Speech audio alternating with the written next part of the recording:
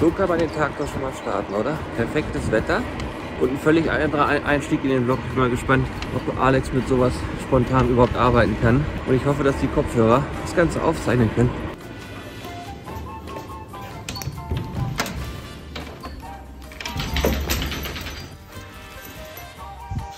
Guten Morgen! Dann weiter in deine Ruhe. Wie? Ja, um zu sehen, dass du wieder mal deutlich nach deiner eigentlichen Zeit hier bist. Nachdem ich also herzlich empfangen wurde im Büro, werde ich mir jetzt wie immer jeden Morgen erstmal meinen Kaffee machen. Übrigens habe ich das nur gemacht, also die Kaffeeszene habe ich mir nur ausgedacht, um Werbung für unseren Kaffee zu machen. Nämlich der hier. Haben viele von euch bestimmt eh schon gesehen. Aber Four Dudes Chocolate Chillout, sag ich mal, ist der Shit. Und wer diesen Vlog hier vom Aufbau dieser äh, Kaffeeküche geguckt hat, der weiß auch, wie viel Kaffee da drin gestanden hat. Das haben wir jetzt innerhalb kürzester Zeit doch massiv äh, dezimiert. Habt ihr schon mal gesehen, wie man Milch aufschäumt, außer First-Person-Version? Ne, wie heißt das nochmal? Third Person, ne? First Person macht gar keinen Sinn. Ich kann jetzt eh machen, was ich will, weil er schneidet jetzt sowieso so scheiße rein, dass ich mich wieder zum Alex, du musst das jetzt so schneiden, dass es eine übelst krasse Action-Szene wird, okay? Also ich werde jetzt diese Milch aufschäumen, liebe Freunde. Ich baue jetzt einen Spannungsbogen auf. Diese Milch werde ich jetzt aus meiner Handperspektive auf, ähm, aufschäumen. Das wird, ey, das wird so krass, ne?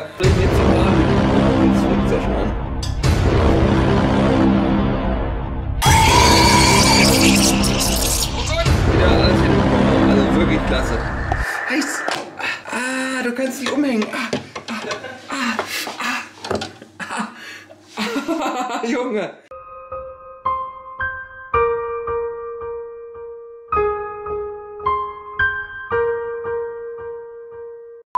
Aber ey, komm, für außer Hand, der Lappen? Sitzt da hinten.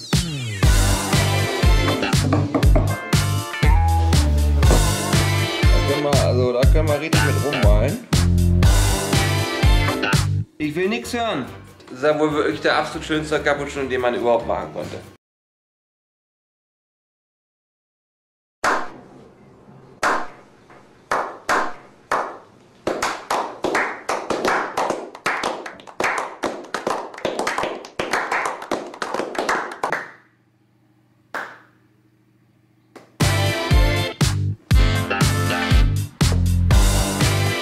So, jetzt wirklich raus mit der Sprache. Zu meiner morgendlichen Routine gehört auch eine andere Sache. Und zwar setze ich mich jeden Tag auf so einen Stuhl hier. Ne? Wie ihr seht, habe ich hier schon provisorisch alles Mögliche abgeklebt und mich damit schon mehrfach rumgeärgert, weil hier so Metallstäbe rausgekommen sind. Ich kann jetzt gar nicht genau sagen, woran es gelegen hat. Vielleicht liegt es an meiner Hose oder vielleicht bin ich auch einfach sehr, sehr muskulös geworden. Es sind verschiedene Gründe sicherlich, dazu führen, dass der Stuhl ein bisschen in die Knie gegangen ist. Und wir haben vor einiger Zeit einen Aufruf gemacht bei Instagram und haben gesagt, Leute, habt ihr nicht mal einen Tipp für uns, was für Bürostühle man sich anschaffen sollte? Da haben sich unfassbar viele drauf gemeldet. Unter anderem auch ein sehr guter Freund von uns, der mir sofort per WhatsApp eine Sprachnachricht geschickt hat und gesagt, sag mal, hast du eigentlich mal Latten am Zaun? Wieso fragst du mich nicht? Ich habe alles da. Dann habe ich gesagt, Nick, was hast du da? Dann hat er gesagt, naja, ich baue dir das so, wie du es brauchst. Und ich sag mal so, wir sind dafür bekannt, dass wir durchaus ähm, immer mal einen Schritt weitergehen und vor allen Dingen uns ein paar Gedanken machen. Und darüber hinaus auch ganz oft Dinge unverhältnismäßig eskalieren lassen. So wie bei der Outdoor-Küche zum Beispiel. Und ich sag mal so, beim Thema Stühle ist es nicht unbedingt anders, aber das werdet ihr dann gleich sehen. Da ist schon mal der Erste. Ich weiß gar nicht, was Julian vorher gesagt hat. Ich habe ihm natürlich wie immer aufmerksam zugehört. Aber hier ist auf jeden Fall schon mal der erste Karton, der uns hier hochgeliefert wurde. Das bedeutet in allererster Linie wieder eins. Papiermüll. Yay! Morgen. Zum Glück sieht man die Schweißperlen noch nicht.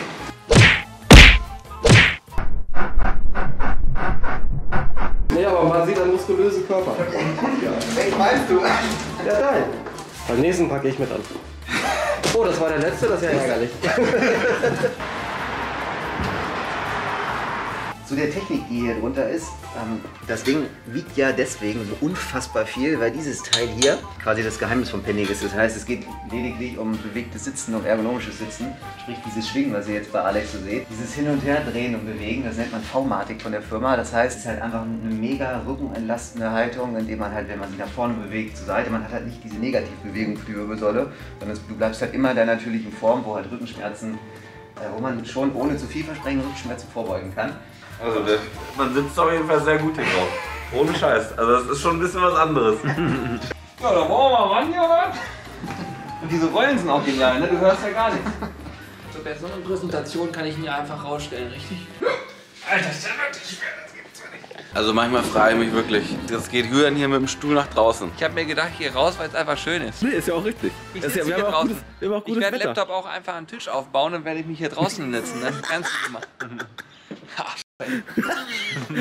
Ich möchte noch mal was sagen, weil ich habe ja noch vorhin gesagt, es wird eventuell unverhältnismäßig. Es ist wieder unverhältnismäßig geworden, weil so ein Stuhl ist wirklich, ich meine, ihr könnt das jetzt nicht fühlen, was ich hier fühle, ja, aber ihr könnt ungefähr erahnen, dass es auch gut aussehen könnte und dass dieses auch ein wirklich sehr, sehr guter Stick ist und so weiter. Aber worauf ich hinaus möchte, ist, dass ich es erstmal total geil finde, dass Nick das Ganze für uns gemacht hat. Also Nick, äh, persönlich an dich, äh, ein Herz geht raus, vielen Dank. Fakt ist, wir sind sehr glücklich darüber. Es ist unfassbar bequem. Wir haben natürlich früher schon mal Probe sitzen können. Wir wussten schon über Monate, dass der kommen wird, haben es euch aber nicht erzählt. Und ich habe gerade zu Nick gesagt, ey Nick, wenn das Video kommt, wird es Menschen geben, die sagen, wo gibt es diesen Stuhl? Ihr müsst mal Folgendes machen. Das Bett Hannover auf Instagram ist, glaube ich, die einzige Seite, die so, äh, wo sie Social Media technisch äh, ganz weit vorne sind.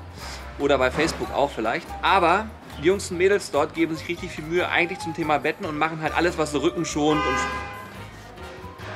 Gibt's doch nicht, oder was? So, mehr will ich jetzt auch nicht Werbung machen, weil ich bin begeistert. Werbung aus Überzeugung.